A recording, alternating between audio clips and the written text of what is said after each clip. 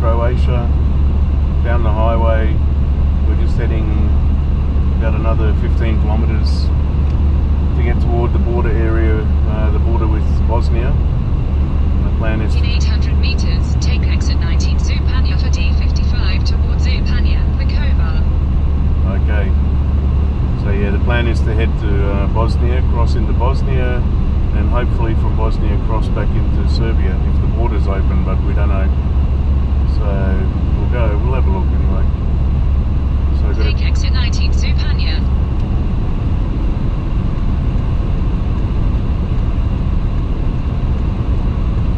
it's the one. In 600 meters, keep right to continue toward D55.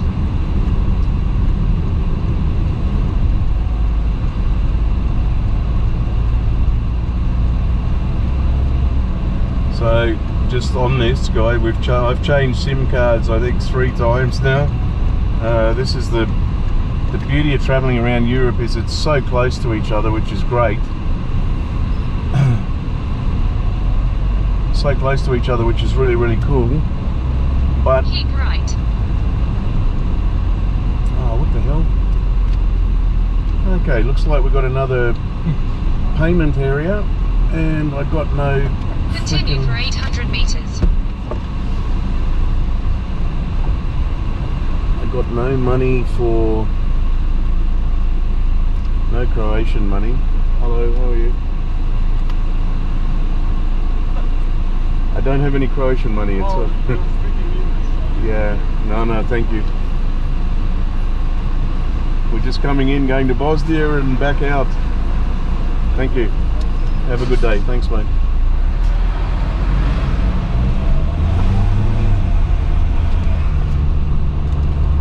can you put my just put my souvenir and Alright guys, so another toll. Didn't have any Croatian money. In Croatian 500 meters, keep left at the fork. Follow signs for Orasje. So let me put the window back up because it's fucking boiling hot outside.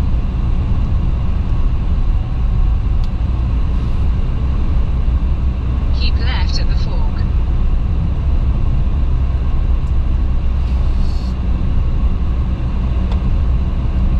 Alright, so we're just 400 meters, merge onto D55. Alright. Yeah, so I was saying, beauty of travelling around Europe is it's so close to each other. You can visit countries and that, but because there's some EU and non-EU, and they all have different roaming agreements and that, you're continually changing bloody SIM cards and got to watch your roaming plans, or you'll end up getting charged an arm and a leg. Um, so. Continue on D55 for 5 kilometers. So I literally just stopped and got a SIM card for Croatia with unlimited data for a week, and I'm about to cross into Bosnia. So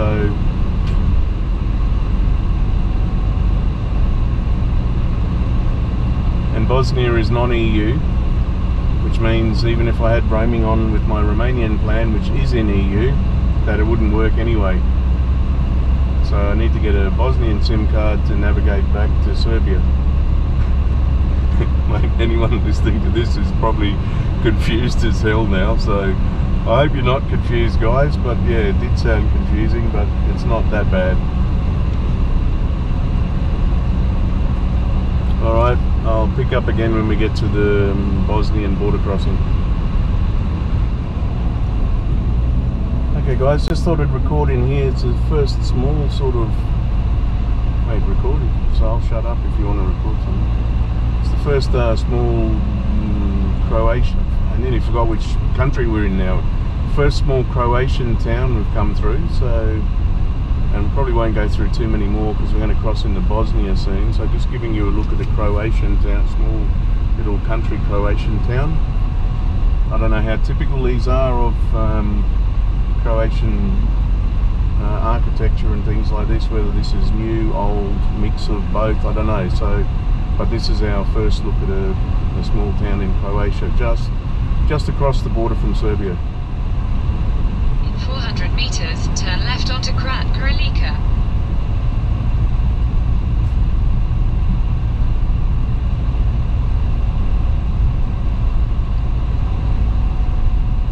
Yeah, the houses here are a little bit different to Romanian houses in most areas, but not too Take dissimilar. left onto Krat Not too dissimilar to Serbian, I think. There's a bit more colour in these ones by the look of things. Just basically, they look like. Ah, shit.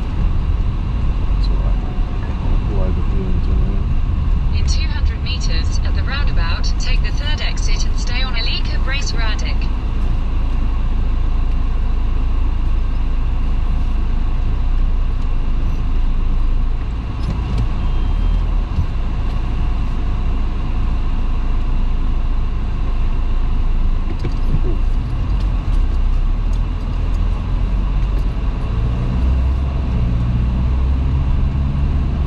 I was busy talking right onto Krat Karalika.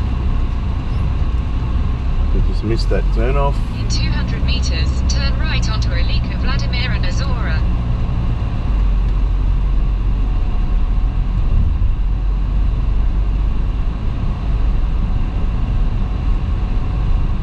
Ah, nice, nice, Take the next right onto Alika Vladimir and Azora. nice little town. A lot of, lot of colour. A lot of colour in the buildings here. In 600 meters, turn left onto Alika Baruna Tranka.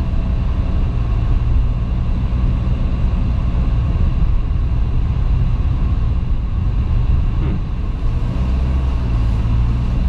Continue for 3 kilometers. Mate, this is very, very different here, mate. Yeah, it's very European. It's like the big. I shouldn't say European. All European, mate. I should say Western European she doesn't have gas on. Yeah.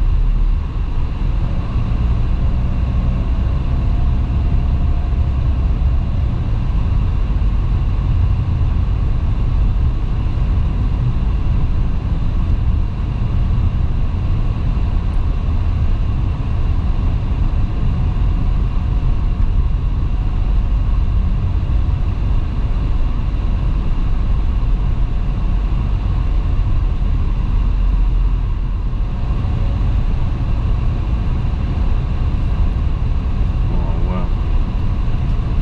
The big, uh, yeah, the harvester in front.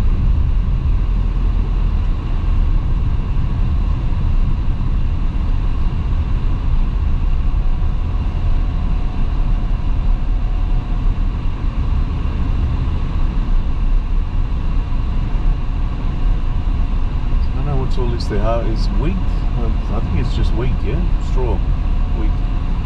It's not corn or anything. Grill. Wheat? Grill? Yeah, I think it's wheat. Grill. Look, farina and bread. Yeah, wheat. Grill. Grill? Grill. Yours is different. Looks the same, but it's different.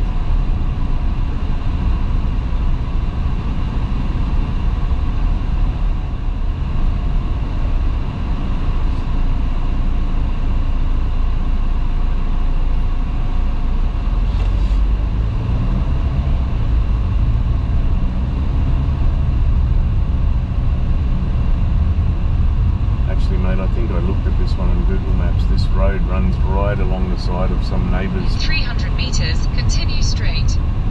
Continue straight and end up in the river. Yeah, we just noticed the border crossing off to our left, guys. So I think Google Maps has taken us sort of parallel to the border, and it, Continue straight, then turn right. it looks like it wants to put us right in the middle of the river. Continue straight and turn right. Well, we can't really do that. Well, we can, but Take the next right. what? the- Take the next right. Yeah, yeah. Need to return. If we take the next right, we bypass the border. In 400 meters, you will arrive at your destination. No, I don't think we will.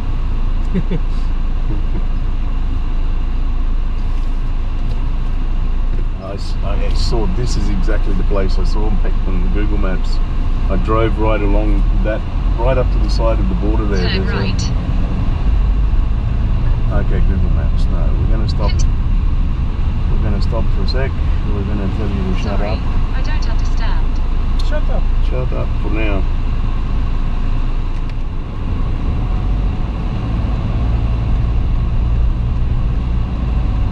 Take the next right onto D55.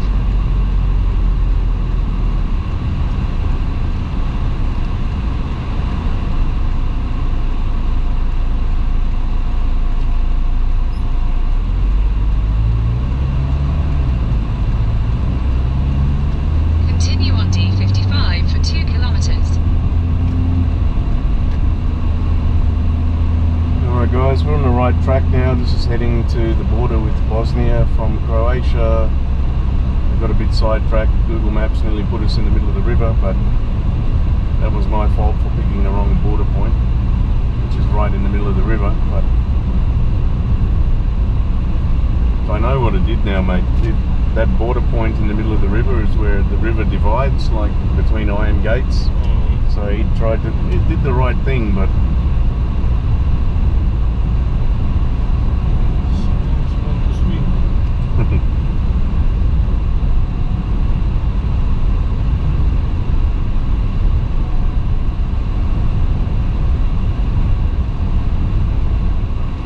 Huh? Even when we go to that road, small cars go in front. Okay, mate. Let's go. You're right. Trucks means trucks. Yeah. This is like that traffic light situation. If someone comes the other way, you're like, no, okay. fuck." In 400 meters, you will arrive at your destination. Pardon, mate. I hope you're right. I don't think so. I'm right, mate. Where? So which way we go? Straight. It says no. Yeah. Straight, mate. Small cars in front, trucks Oh, on yeah. right. Yeah.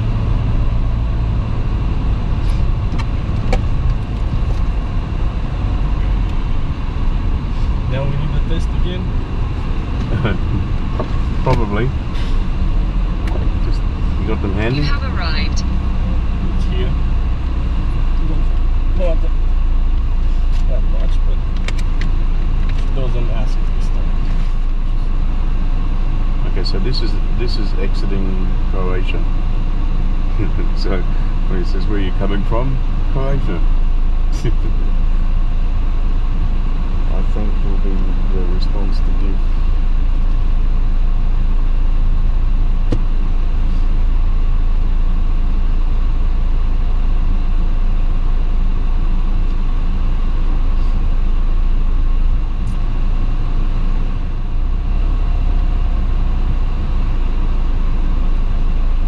Hello, how are you?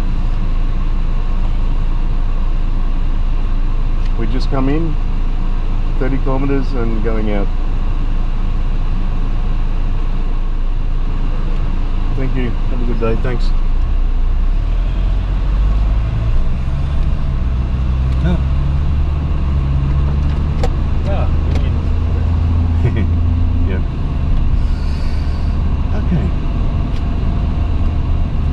So we're in Croatia and we're now leaving Croatia all in the space of one hour. Wow, this is the most serious looking fence we've seen so far. This looks very like you're going through the old communist days into East Germany or something.